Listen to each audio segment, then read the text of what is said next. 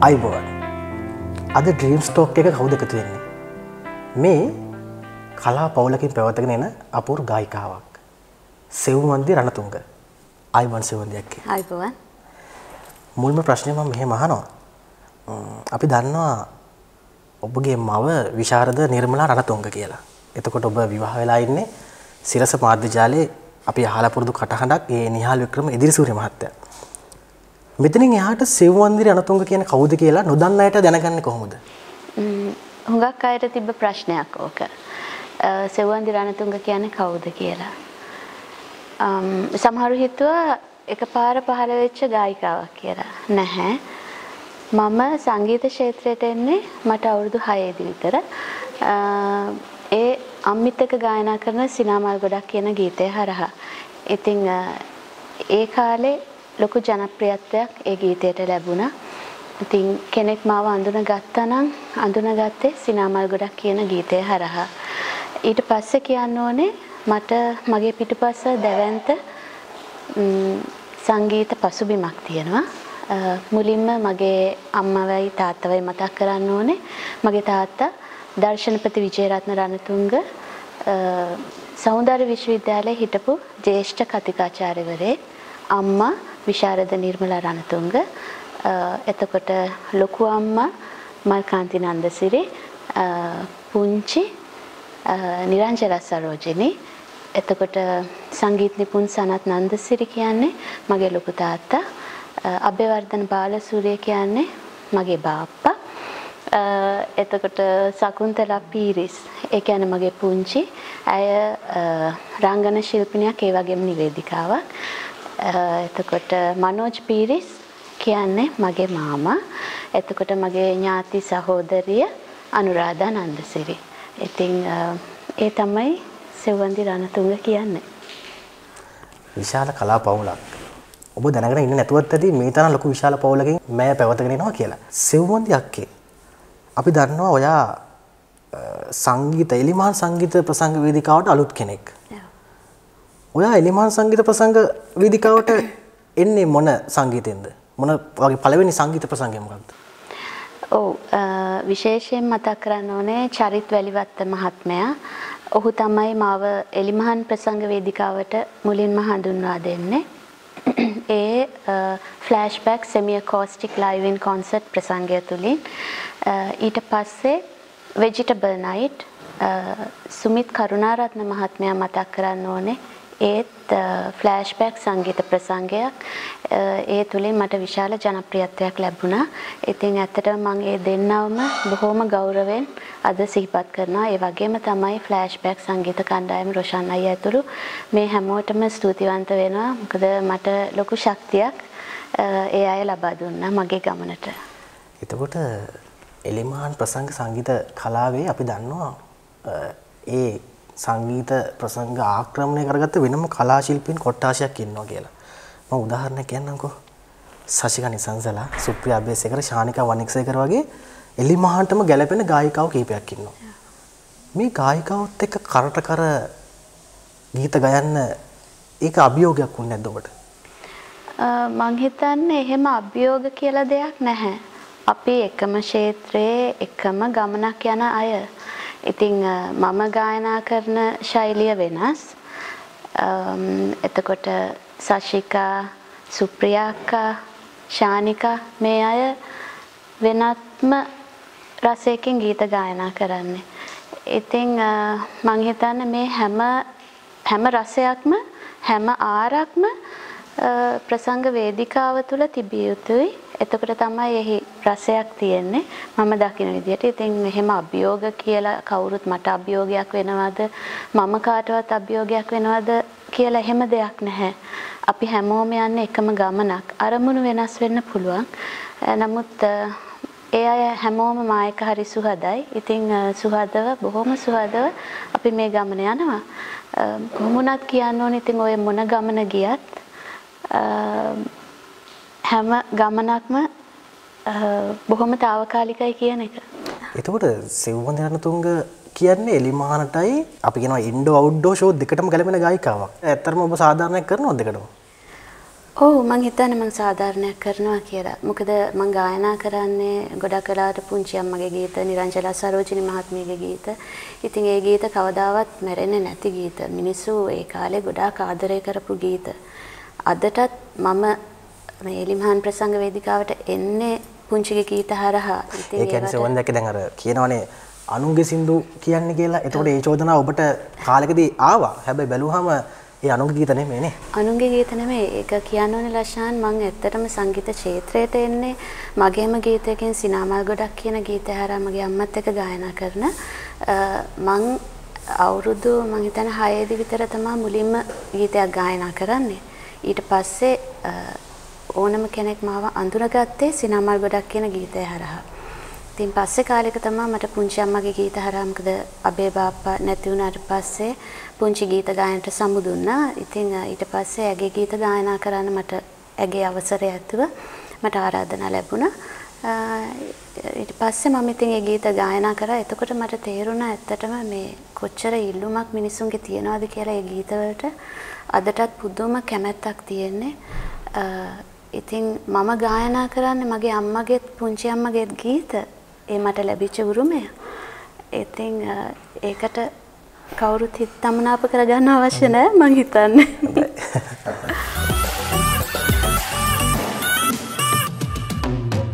සෙවන්දක් අපි දන්න ඔබගේ මව විශාරද නිර්මාණ අර්තුන් ගායනා කරන ගීත ප්‍රසංග වේදිකාව එනවා මේ උයන්තරේ. ගල්න ගල්න දොළපාරේ ඒ වගේම ඔබගේ පුංචි නිරංජලා සරෝජිනී මහත්මිය ගායනා කරන ගීත එනවා අපිට මිනිමිනි පොදේ ලාඳුරේ. එතකොට ඔබ දැක ගැනීමේ. ඒ වගේ ගීත තියෙනවා අපි අහලා පුරුදු. මේ වගේ ගීත වලට අමතරව තව මොනවද මේ අපිට ඇහෙන්නේ නැති සින්දු? මීට අමතරව ගායනා කරන අම්මිගේ සිනාස පිරිසඳ කියලා ප්‍රසිද්ධ ගීතයක් තියෙනවා. එතකොට පුංචිගේ තව තියෙනවා මේ ගඟ මේ දුරු කතර ගෙවා. සිහිනයකි ඔබ නිහඬ මැදියම් රැ. ඈතවන්නේ ওই ගීත ගොඩක් ජනප්‍රියයි මිනිසුන් අතර. ඒ වගේම තමයි දැන් මගේ ගීතත් ගායනා කරනවා. විශේෂයෙන් සිනාමල් ගොඩක් කියන ගීතයට විශාල ඉල්ලුමක් තියෙනවා. ඉතින් මගේම නිර්මාණ අලුත් දෙකක් පමණ මේ දිනවල ප්‍රසංග වේදිකාවේ ගායනා කරනවා. දැන් ඔබ ගායනා කරන ගීතවල ඔබගේ ගීත ඇත්තටම අඩුයිනේ. එහෙම ඇයි ඔයාගේ ගීතයක් අර හිට් වෙන්නේ නැත්තේ? ඒකට කියන්න ඕනේ හේතුව තමයි පුංචිගේ ගීත. මොකද මිනිස්සු පුදුම ආසාවක් තියෙන ගීතවලට. මම අර කලින් කිව්වා වගේ කවදාවත් නොමරන ගීත. ඉතින් මම ආවෙත් පුංචිගේ ගීත හරහා. ඉතින් මිනිස්සු හැමදාම මම හිතන්නේ බලාපොරොත්තු වෙනවා ඒ ගීත මහන්න. මගේ ගීතත් ගායනා කරනවා. සිනාමල් ගොඩක් ගීත ගොඩක් වෙලාවට ගායනා කරනවා. ඉතින් මේ ඊට අමතරව අර මං හිතන්නේ ඒක තමයි මිනිස්සු ගොඩක් වෙලාවට බලාපොරොත්තු වෙන්නේ පුංචිගේ ගීතම තමයි. හේතුව මේ මේ පුංචිගේ කටහඬම ඔබගෙන් එනවා එළියට. ඒක නිසා නේද? මං හිතන්නේ නිරංජලා සරෝජිනී කියන්නේ යුනික් වොයිස් එකක්. ඒක කිසි කෙනෙක්ට සමාන කරන්න බැරි හඬක්. ඉතින් හැබැයි ඒ හඬේ එක එක තියෙන කියන්නේ ආදරණීය බවක් තියෙනවා. හැඟුම්බර හඬක් තියෙනවා. ඒ හැමදේම එකතු වෙච්ච හඬක් ඒක. ඉතින් ඕකෙන් පොඩි පොඩි කොටස් මගේ හඬේ ඇති මං හිතන්නේ. ආදරණීය බව. ඉතින් ඒ හින්දා වෙන්නේ නැති. නමුත් මං හිතන්නේ කවදාවත් ඒ හඬට සමාන කරන්න පුළුවන් කියලා. එහෙම වෙන්න උත්සාහ කරන්නෙත් නෑ මම. ඉතින් මගේ කැමැත්ත තමයි මේ ගීත ඉදිරි පරම්පරාවට අරගෙන යෑම.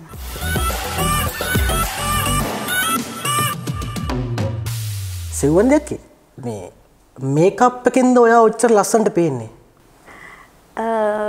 අනේ එහෙමනම් නැහැ. මගෙන් කෙනෙක් ඇහුවොත් කරන්න අකමැතිම දේ මොනවද කියලා මේකප් කරන එක. මං හරිම අකමැති. විශේෂයෙන් මං කැමති නෑ ආටිෆිෂල් විදිහට ජීවත් වෙන්න.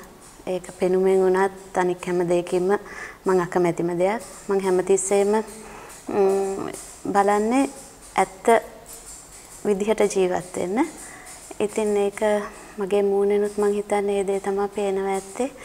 මොකද හදවත ලස්සන වෙන්න ඕනේ කෙනෙක්ගේ. එතකොට තමයි ඇත්තට මේ ඒක මූණෙන් පේන්නේ. මේකප් කරන එක බොහොම తాවකාලික දෙයක්. ඒවා తాවකාලික ලස්සනවල්. ඉතින් හදවතින් ලස්සන වුණොත් අපිට හැමදාම ඉන්න පුළුවන් ලස්සනට. ඔබ මේ තරම් නිහතමානී කෙනෙක් වෙන්නත් ඔබ මේ තරම් දක්ෂ වෙන්නත් ඔබගේ පාසල ඔබට පිටුහල් වෙන්නේ නැති කියලා මං හිතනවා. හොඳ අධ්‍යාපනයක් ලැබෙන්න ඉපෑ කවුරුත් සාර්ථක වෙන්න. අපිට පොඩ්ඩක් පාසල කාලය ගැන පොඩ්ඩක් කියමුකෝ. ඕකේ. මම ගියේ කොළඹ මියුසියස් විද්‍යාලයට. මම උසස් පෙළ වෙනකන් හැදෑරුවා. ඊට පස්සේ මම සංගීතය පිළිබඳ අධ්‍යාපනය ඇත්තටම ලැබුවේ මගේ අම්මගෙන්.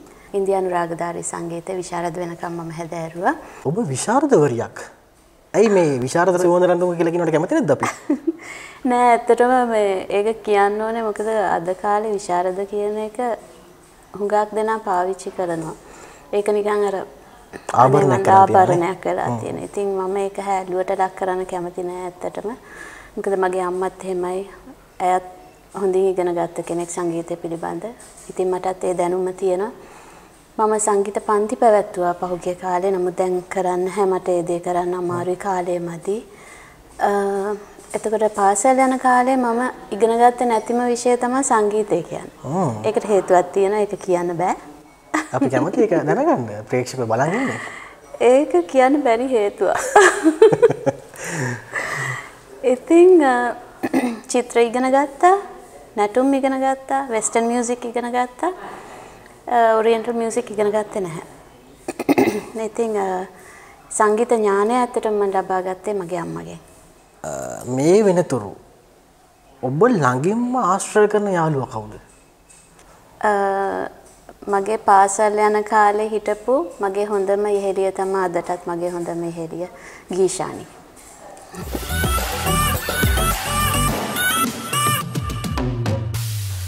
සිවන්දයක්කේ අර ඔයාගේ හොඳම යාළුවගේ නම කිව්වනේ.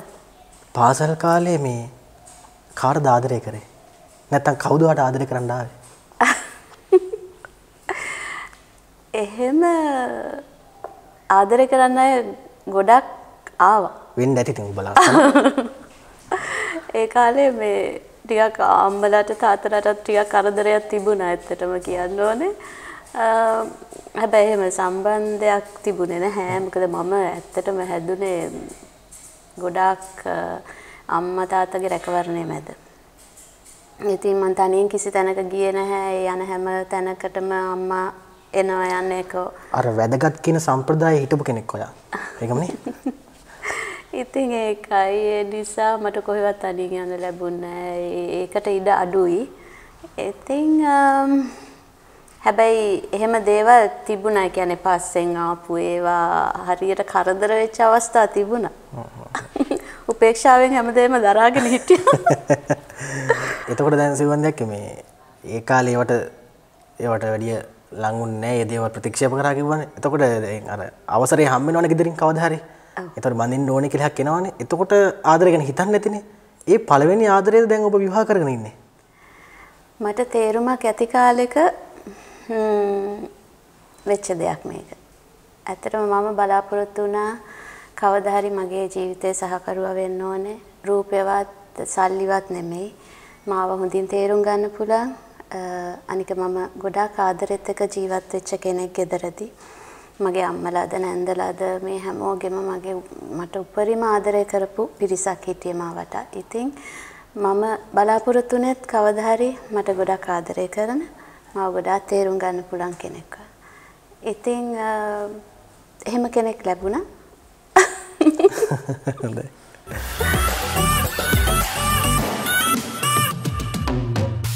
සෙවණකේ දැන් මේ මියුසික් ෆීල්ඩ් එකට ඔයාට ලැබෙන සහයෝගය අන්න අයගෙන් ඒ කොහොමද අර කැප්ලිකෙට්ලි එහෙම එන්නේ නැද්ද? එහෙම දේවල් කියන්නේ මගේ මූණට එහෙම දේවල් සිද්ධ වෙලා නැහැ. නමුත් මම දන්නවා එහෙම දේවල් වටපිටාවේ තියෙනවා. හැබැයි මම ඒ කිසි දෙයක් ගන්නෙ නැහැ. ඇඟට ගන්නෙ නැහැ කියන්නේ. මේ කනෙන් අහලා මේ කනෙන් පිට කරනවා. මොකද මම ගැන දන්නේ මම. ඉතින් මම කවුද කියලා මම හොඳටම දන්නවා නම් මම ඒ දේවල් වලට බයත් නැහැ. මං කාටවත් වැරද්දක් කරන කෙනෙක් නෙමෙයි. මං මට කරන්න පුළුවන් උපකාරයක් කරගෙන එහෙම ජීවත් වෙන කෙනෙක් මගේ පාඩුවේ. ඉතින් ඒ නිසා මම මේ දේවල් අදාළ කරගන්න නැහැ කොයිම වෙලාවකත්. කියන්න ඕනේ විශේෂයෙන් සංගීත කණ්ඩායම් අනේ ලොකු සහයෝගයක් මට ලබා දෙනවා ඇත්තටම. ඉතින් ඒ අයගේ ඇත්තටම ලොකු ගෞරවයක් තියෙනවා. ඉතින් මේ අවස්ථාවේ ස්තුතිවන්ත වෙනවා ඒකට. අපි දන්නවා ඔබට එලිමාන් ප්‍රසංග වේදිකාව දැන් හැදිලා තියෙන්නේ. සංගීත ප්‍රසංග ගලාගෙන එනවා. විදේශ සංචාරය එහෙම හම්බෙන්නේ නැද්ද අක්කේ? පිටරට ප්‍රසංග වලට ආරාධනා ලැබෙනවා ගොඩාක්. හැබැයි මම ඒව එකක්වත් බාරගන්නේ නැහැ. මොකද මට දරුවෝ දෙන්නෙක් ඉන්නවා. ඉතින් ඒ අයගේ වැඩ කටයුතු හැම දෙයක්ම සිද්ධ වෙන්නේ අපේ අතින්. ඉතින් මම කැමති නෑ ඇත්තටම පුංචිවත් අතපසු වීමක් සිද්ධ වෙනවට. ඉතින් ඒ නිසා මට අනිදේ තමයි කොහේ ගියත් ගෙදර එන්න ඕනේ. දරුවෝ දෙන්න නිසා. ඉතින් ඒ හින්දා තාම මට බෑ ඒ ප්‍රසංග බාර ගන්න. නමුත් ඉදිරියේදී අපි බලමු. දුවයි පුතයි ගැන පොඩ්ඩක් කියමුකෝ. මගේ දුව දැන් අවුරුදු 20ක්. ඇය මනෝවිද්‍යාව පිළිබඳ උපාධිය හදාරනවා. පුතා නම් තාම පොඩි. පුතාට අවුරුදු 14යි තාම. විදුර විද්‍යාලයේ ඉගෙනුම ලබනවා. එයා ක්‍රිකට් වලට ගොඩක් දක්ෂයි. විදුර අන්ඩර් 15 ක්‍රිකට් ටීම් එකේ කැප්ටන් විදිහට ඉන්නවා. බොහොම සතුටුයි. මේ දුවයි පුතයි සෙව්වන්දි රණතුංගගෙන් පස්සේ කලාවට එන්නේ නැද්ද? දෙන්නටම හැකියාව තියෙනවා. හැබැයි දුව නම් ගොඩක්ම අධ්‍යාපන කටයුතු වලට තමයි මුල් තැන දෙන්නේ. පුතාට නම් හැකියාවක් තියෙනවා. ලොකු හැකියාවක් තියෙනවා. පුතා ඕල් රවුන්ඩර් කෙනෙක්. එයාට හැම පැත්තෙම තාත්තා වගේ නිවේදන හැකියාවක් තියෙනවා. ගීත ගායනා කරන්න පුළුවන්. රඟපාන්න පුළුවන්. ක්‍රීඩා කරන්න පුළුවන් හැමදේම තියෙනවා. දුවටත් හැකියාව තියෙනවා. දුව එක විභාගයක් කරා සංගීත විභාගයක් කරා තබ්ලා කරා සීයා වගේ ඉතින් හැකියාව තියෙන නමුත් ඉතින් මම බලකිරීමක් කරන්නේ නැහැ. ඒ අය කවදා හරි ඉතින් තේරුමක් ඇති කාලයකට ආවම ඒගොල්ලන්ගේ මාර්ගය ඒගොල්ලෝ තෝරගනි.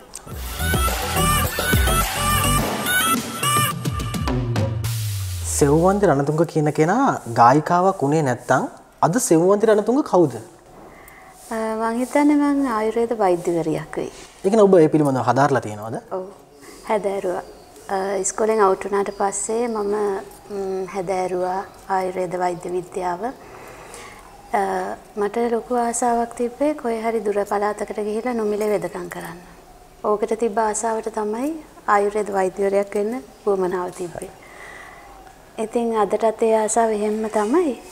කොහොම හරි අර වෙන්න තියෙන දේනේ වෙන්නේ නේද අන්තිමට.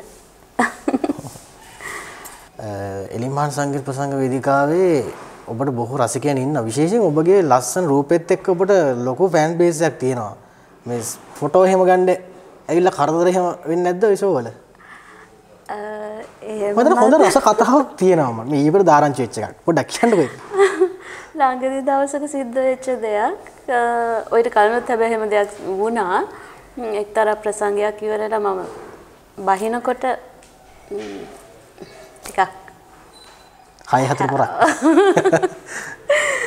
කෙනෙක් එක පාට ඇවිල්ලා අනේ හරිම ලස්සනට සින්දු කිව්වා අපි හරි ආසයි ගීතවලට කියලා ඇවිල්ලා මාව වැළඳ ගන්න හැදුවා මම ඉතින් ඇත්තටම ගොඩක් බය වුණා මම හිමි මෙහෙම යටින් කරා ඊට පස්සේ කට්ටිය ඇවිල්ලා ටක් ගාලා එහාට කරා ඒ පුද්ගලයාව ඉතින් ඔය වගේ දේවල් ඔයිට කලිනුත් සිද්ධ වුණා අනේ වුණාට ඉතින් එහෙම අහිතක් නෑ මගේ මං හරීම කැමැත්තෙන් බොහොම ආසාවෙන් ප්‍රසංග වේදිකාව කියන්නේ බොහොම සුන්දර තැනක්. ඇත්තටම මම හරි කැමති ඒ තැනට. මොකද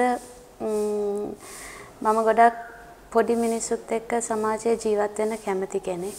ඇත්තටම ඒ හිත හරි සුන්දරයි, අව්‍යාජයි.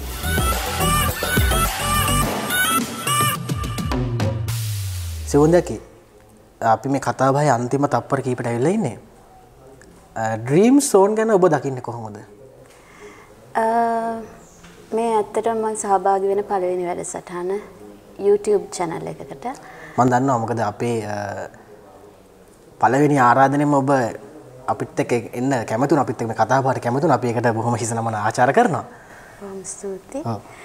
ඉතින් ඇත්තටම මම පළවෙනි වැඩසටහන බැලුවා රොෂන් අයියගේ කරපු. ඉතින් ඒකෙන් මට ඇත්තටම පැහැදීමක් ඇති වුණා. ඒ නිසා මම මේ ආරාධනය බාරගත්තා කිසිම බයක් නැතුව. ස්තුතිවන්ත වෙන්න ඕනේ නිරෝෂන්ට අපේ ෆ්ලෑෂ්බැක් බෑන්ඩ් එකේ.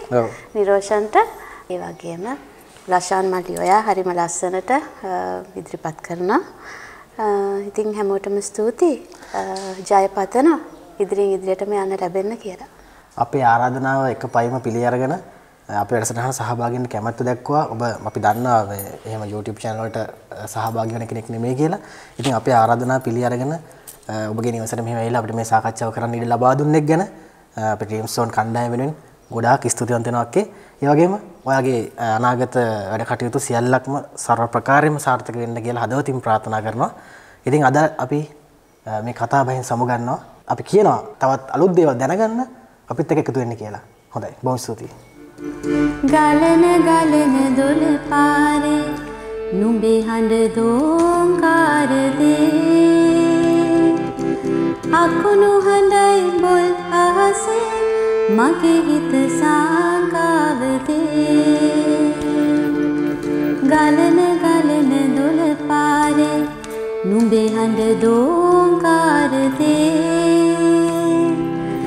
අකුණු හඬයි පොල් අහසේ මගේ හිත සාකාගදේ අරුමෝසම් උඩු සුළගේ මුලාවෙලා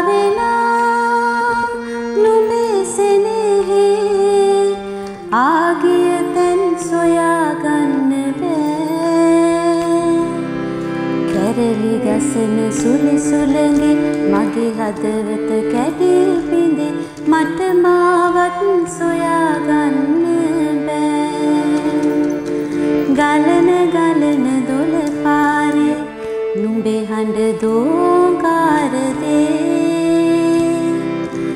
අකුණු ගසයි පොල් අහසේ මගේ හිත සා